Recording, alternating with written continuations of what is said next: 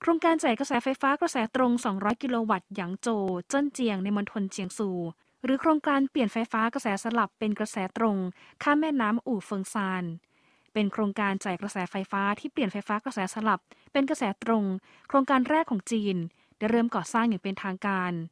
เมื่อสร้างแล้วเสร็จก็จะกลายเป็นโครงการเปลี่ยนไฟฟ้ากระแสสลับ เป็นไฟฟ้ากระแสตรง ที่จ่ายกระแสไฟฟ้ามากที่สุดในโลก ส่วนหลักของโครงการนี้คือ การดัดแปลงช่องทางจ่ายกระแสไฟฟ้า 200 กิโลวัตต์ ข้ามแม่น้ำสายแรกในมณฑลเจียงซู การเปลี่ยนไฟฟ้ากระแสสลับเป็นกระแสตรง การเพิ่มความหนาแน่นของกระแสไฟฟ้าให้เป็น 5 เท่าของปริมาณเดิม ซึ่งโครงการนี้มีระยะทางกว่า 109 กิโลเมตร จ่ายกระแสไฟฟ้ากระแสตรงขาเดียวมากสุดถึงประมาณ 1,200 เมกะวัตต์